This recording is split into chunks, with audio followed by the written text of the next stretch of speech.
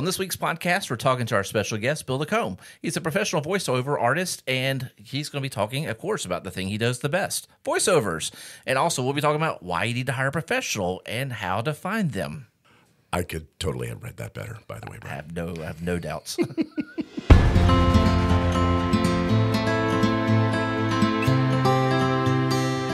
Hi, and welcome to the Dogwood Media Solutions podcast. I'm your host, Brian Harris. And today we have a special guest in the studio. His name is Bill Lacomb. That's right. Hey, thanks for joining us, Bill. Hey, look, Brian, thanks for having me. This is this is so much fun. The opportunity to come in here into your studio, just into your facility. It's just a great creative vibe in here. So thanks for letting me come and hang out. I'm. I'm so glad to have you here. In fact, we've been talking about this. I want to say since January. Yeah, Uh, yeah. I think when we had our grand opening celebration. That's right. Uh, you came in here and we saw the studio and we told you about the podcast. I was like, I've got to get you in. Yeah. To do a podcast issue and let's talk about the subject we're going to be talking about today. That's right. Uh, which is voiceovers. Perfect. And because Bill is a voiceover artist, That's this is part of what he does uh, in, in the midst of other things also too. Because your your your main breadwinner job is the uh, the financial center leader VP at Hancock Whitney. That's right. And uh, up in Prattville. Correct. Mm-hmm. And also, you are a Pike Road resident, which is, if anyone's listening, you know, Pike Dogwood is where it's in Pike Road. Sure. And that's one of the ways we connected, also too, because your son's a member of the the Pike Road High School band, is a drummer for that Sure for them, is. and and uh, I, I'll go into that story in a little bit more about how we reconnected. But Yeah. Also, one of the big things you do too, just keeps you really busy, Mm-hmm. is you're chairman of the board for the River Region United Way. Yeah, that's that's that really is. I mean, I think that keeps me probably almost as busy as the the daytime gig. You know, just uh, you know, we do a lot there with United Way as far as you know, trying to you know service all of our, our nonprofits and just folks who need it in you know in the area in the river region. So um, keeps us busy. I love that that that leadership that I get to uh, to to I guess to, to really learn from all these folks on my board and executive committee. So I look at it as as I surround myself with all these these great leaders and, and just try to to lead at their higher level too. You know. I was going to ask you, what exactly does that mean? The chairman of the board for? I mean, the River Region United Way is is a big organization that provides a lot of money for nonprofits here in the area. So, what is what is the chairman of the board? do? I mean, you're this is a volunteer position, correct? It is, and, and basically the, the the role that I always tell folks is I'm really the go between, the representative of the entire mindset and, the opinion of the board, and I I foster that relationship with our CEO Jana Bailey. So um so Jana and I we have a um a really close tight knit relationship. I'm kind of hands on, and, and she always says, "Hey, this is my boss." You know, technically yeah, but but she's just you know I, I love her heart and what she's doing, and so I just kind of hang with her and learn from her and kind of just just get in the boat with her and report it back to the board, make sure the board is well informed and be the liaison between the staff and also the board who makes a lot of the decisions for United Way. Is this a like elected position or? Um, Kinda, you know, it was one of those the board had to elect me in, you know. So I served on the board for a couple years, Brian, and then um, they asked me, "Hey, you want to lead? You want to chair this thing?" So, of course, I'm you know all about it. I, I love leadership and love and really at the end of the day, again, just surrounding myself with awesome people like you here today. You know, just learning and um, and trying to just add value in any way I can. I was just, when do you sleep? Because the other things I've got on my list here, you're a voiceover artist. I mean, so you're doing a lot of voiceovers. I've heard do. your stuff on Buckmasters, for Yeah. instance, that you got out there, and I don't know if you can name off any other things you've done stuff for, but Yeah. there's some big brands that you've done voiceover work for. I tell you, I've done stuff for the state of Maryland because my um, one of the broker or, or agencies that that uh, that finds work for me is up in the Baltimore D.C. area. Um, that Voiceovers Matter, they're called. Um, and so, um, so of course, he does a lot of stuff in that area. And so, my clients have been um, state of Maryland, uh, the Maryland DOT. Um, there was a big Caterpillar distribution up there, like you know, like the heavy Yeah. equipment Caterpillar. Um, and then I'm also just um, oh, probably the past two or three years, I've been the voice of, of a company that uh, they say they sell and service, um, you know, like uh, heating, AC equipment, things like that. So they're a big outfit, and I'm and I'm delighted to be the voice of their company. Okay, Yeah. that's very cool. Well, also, you're a drummer.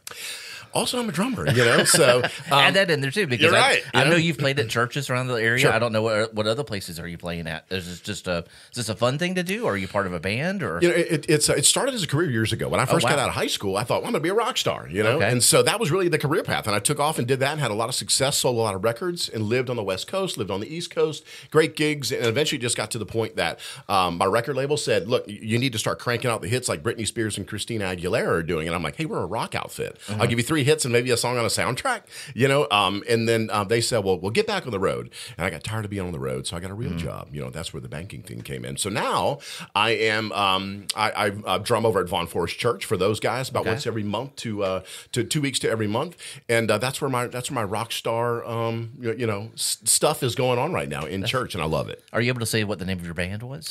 Um, there, I was in a band called Sovereign, which was like a hard rock type outfit, and there was another band that I was. Um, uh, I played drums for, um, and they were called Texas Jerry. It was kind of a uh, like a working title for the band, Mm-hmm. but we were um, we were affiliated with the band Live. I don't know if you remember Live from the from the '90s and Mm-hmm. Yeah. 2000s. We all came from from the same town, and so we were kind of like their little brothers, and they helped us along. You know, That's really So, cool. yeah, well, That's like a so- whole nother life. That Let me you tell you. I, I feel like it's it, it, it was a whole lifetime ago as well too. So yeah. Wow. Yeah. Okay, well, the today's topic we're talking about professional voiceovers, why you need to use them, Sure. where to find them at, and then basically how they can take your production to the next level. Uh, Dogwood did a blog post about this a couple months ago. Actually, I think it's a couple weeks ago. I can't remember exactly when we put it out. A lot of times I'll write them and then they'll go out like a couple weeks later. Okay, Kind of like when you, when you do a podcast. Sometimes Yeah. we record them in advance. Imagine that. Yeah, yeah. we actually like to pre-plan things.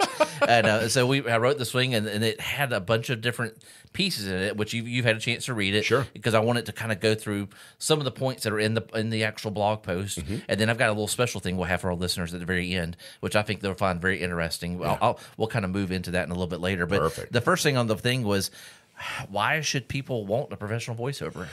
You know, that's a that's a good question, and I- and I think that you know you'll you'll find these these these ads out there and the commercials out there where like the owner will do the voice, Mm-hmm. you know what I mean, or maybe they'll have their kids or their grandkids do the voice, um, and and that's fun and that's cute.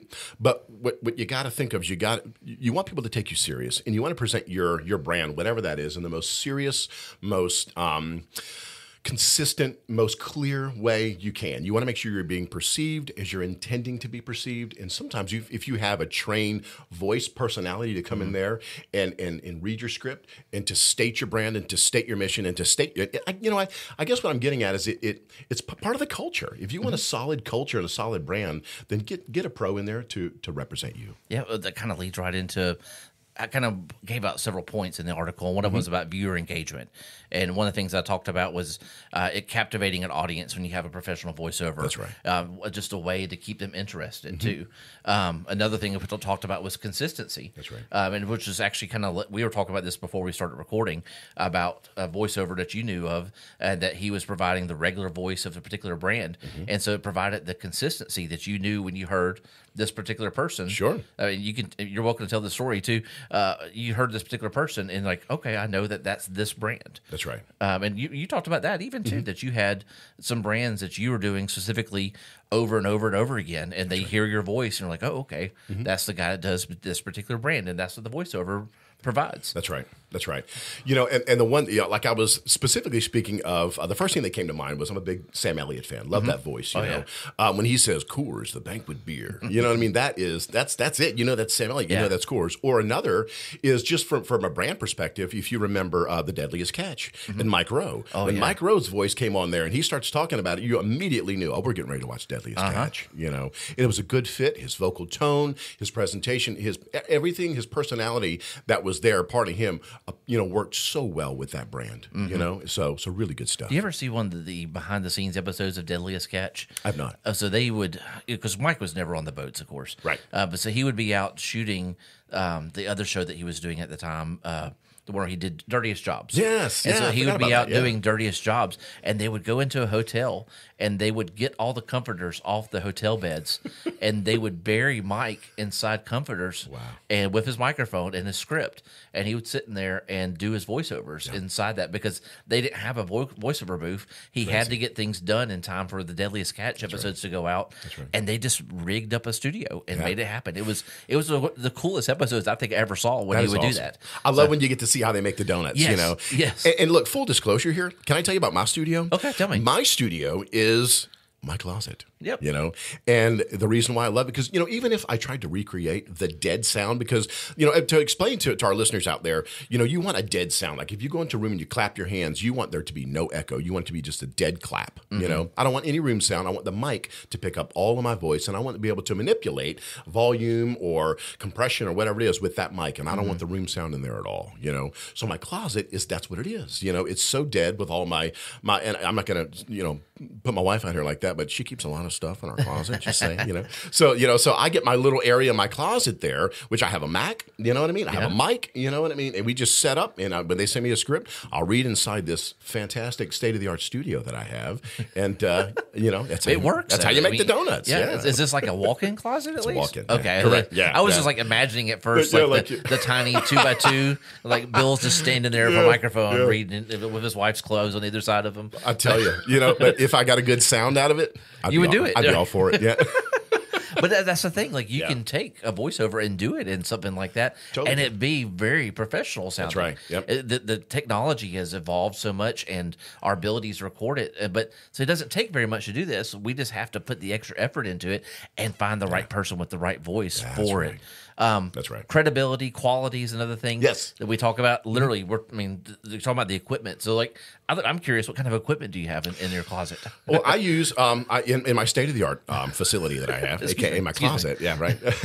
so I have a Mac, you know, and I Yeah. use Audacity. Okay. Um, so I run it through Audacity, just get a nice clean level that I like, and I get my my um, I have like you have a pop filter right here. I have an AT twenty twenty Audio Technica mic, Mm-hmm. Okay. just middle of the road that has served me well for probably fifteen years, and um, we use that and you know record it, put it on a WAV file, send it off, and that's how you do it. you know? Okay. Yeah. So you don't do any processing at all. They do all that. You I, just I send it to my guy. Like if, if I work with, typically what I'll do is they they'll say just give us a good clean read, Bill. Good Okay. quiet, clean read. You know, no reverb, no no effects, no nothing. And so I'll send that like like if I'm doing a job for for my guy up in the Baltimore D.C. Mm-hmm. area, I'll just send him a nice clean read. He'll go to his studio. He'll put something together, get it to the ad agency. They'll compress it or they'll pretty it up, however they want to do it, and polish it up, and then they'll send it to the client. You know? Awesome. Yeah. Um, so when it comes to actually finding people to do this, because we've kind of clarified that this is the kind of thing you need for this is why you should do a professional voiceover. Mm-hmm. What is the best way to find people? Because in my article, I put in that the first one was an online marketplace. Yeah. But you mentioned like you you work for a talent agency also too. Mm-hmm. Yeah. And that, that was another thing I put in there's professional talent agencies. That's right. Um, and then the other one was just getting personal recommendations. That's right. Um, so have you used any of the online marketplaces? Have you used things like Fiverr or vo- voices.com or, have you you, know- success? Have you heard people having success using those? Brian, I tell you, you know, a lot of times what happens is those marketplaces Mm-hmm. water our industry down Mm. because you'll have someone who um, not a very good voiceover artist, but maybe their mom or their, their girlfriend said, "Hey, you got a you got a cool voice," Yeah. you know. So they'll say, "Well, maybe I should start doing voiceovers," and then they start doing these voiceover jobs that aren't really great, high quality. Um, they'll use them with, with their, their phone or something like that. Right. They'll charge the client ten bucks, and the client says, "We don't care, just send it to us." You know, they just want to send some It's, whatever. they wanted somebody who wasn't their voice, basically. That's right. Yeah, exactly. They just wanted somebody who wasn't their voice, you know. So, um, if, I think if you want to, you know, uh, to get a good voiceover artist, first things first, you call me, you know. So, Yeah, of course. And then you reach out to Dogwood Media, you know. Yeah. but you know, th- but but like you said, uh, all kidding aside, you know, there are are you know, you just go online, search VO artist, voiceover artist. There are companies out there who will broker an artist for you, or you know, you could try the, the Fiverr thing if you don't have much of a budget or something like that, you know. So many ways to do it. Um, and a lot of I get a lot of my stuff just word of mouth, you know, or, or online. I'll have friends reach out to me, you know, via Facebook Messenger, or clients reach out Facebook Messenger. Hey, if we send you a script, can you read this? Sure. You know. Well, I know that's how we met. Literally, I was walking outside of Dogwood Media in downtown Montgomery. That's right. This was uh, probably about a year and a half, two years ago. that's right, yeah. And uh, it was one of you were, I think, finishing up your meeting at the Rotary Club. It was late one evening. That's too. right. Yeah, you were leaving. Yeah. It was like almost 7 8 o'clock, if I remember correctly, which is not the normal time that I'm leaving the office. Oh, come on now. You I, know, I, I promise I don't I don't do that very often. I'll, I'll try not to. Right, right. But like literally, I was leaving that day, and then you and uh, as a friend of yours Yeah. were walking out, and and you're like, "What are y'all doing there?" And I was Yeah. Like, "We're a marketing agency." And you're like, "I'm a voiceover artist." and I was like, "Cool." Yeah, yeah. And look, that was a rhetorical question. I knew what you did in there. You know, Oh. I said, I said, and I think I even knew you. I was like, I bet that's Brian Harris. Did you know? really? Yeah, yeah, absolutely. How'd you know me though? Um, I think some social media. I mean, look, I'm a voiceover guy. You know what I mean? So, so I knew of you, and I knew of the of the firm. I think I'd already followed you guys on social media. Okay. You know, and so I knew what you guys were doing. So it was just really just by chance. I was like, oh my gosh, it's Brian. Let me say Yeah. hello and introduce myself. And so that's when we first got a chance to really connect and Mm-hmm. start to network, and the rest is history. you know? Well, uh, we saw each other again in football did. season We because did. I'm involved with Pike Road Live, which is our like local TV broadcast for our high school football games. Sure. Your son's a drummer That's for the right. high for the band, and you do all the voiceovers for the band. I do all their announcing. Yeah. So before every show, I'll say, you know, like I'll I'll state the show and who you know who's playing and you know just information about the show, and then give the big you know, Mm-hmm. ladies and gentlemen, the Pike Road Patriot Marching Band. You know, and I love it. Fire up that uh, that stadium, everybody gets rolling, and we they do their show. Yeah. I remember we were down, we were upstairs because we're up on the roof.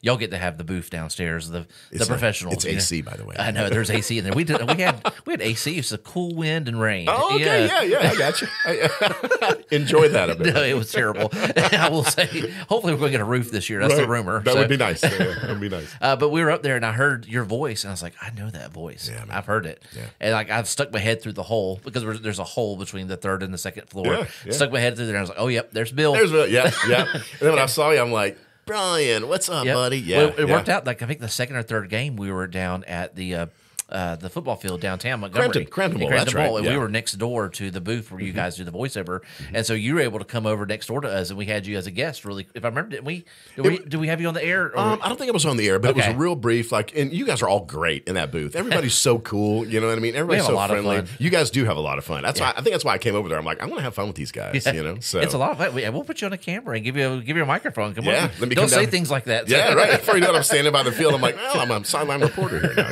Yeah. don't say it. That could happen. Hey, look. I'm, I'm throwing it out there. But that was how we reconnected, and Yep. uh, I'm glad we've gotten to know each other more. So, Absolutely. all right, so this is the part that I wanted to to throw at you to end our podcast with Yeah, today, yeah. and this might take a couple minutes. Uh, I have some scripts. Love it. And this is actually a real client. Mm-hmm. Uh, the name of the client is All South Appliance. They're out of Birmingham, Alabama. Uh, they have a summer kitchen deal right now. And this is, uh, we had another writer. The person's not on our staff, but it's a writer who's written this spot, and I'm going to hand it to you. Um, what I kind of want to ask you is like, what are the things that are going through your mind uh, when you get handed a script like this? I know you haven't had a chance to re- read this first, and so I kind of wanting to kind of really just get your first thoughts. You know, first thing I always look at is who's the client, what's the product, and what's the message. You Mm-hmm. Know, and and really, how do I need to to um, to relay this message? You know, what's the what's to be the most efficient but yet attention getting way to to deliver their script? You know, um, like this is really easy. Time to place those old time to replace those old appliances. All South Appliance makes it easy. So the first thing you want to do is you want to catch the name of that company. Mm-hmm. You know, All South Appliance. You know, makes it easy. You know, and so you have you got some punctuation in there. I'm a big fan of punctuation. If you don't put a comma in the right spot, it can ruin the whole read for me. You know, so but um, then you know then then they tell you they go on to tell you lowest prices in stock, delivery and installation. Yep, All South makes all that easy.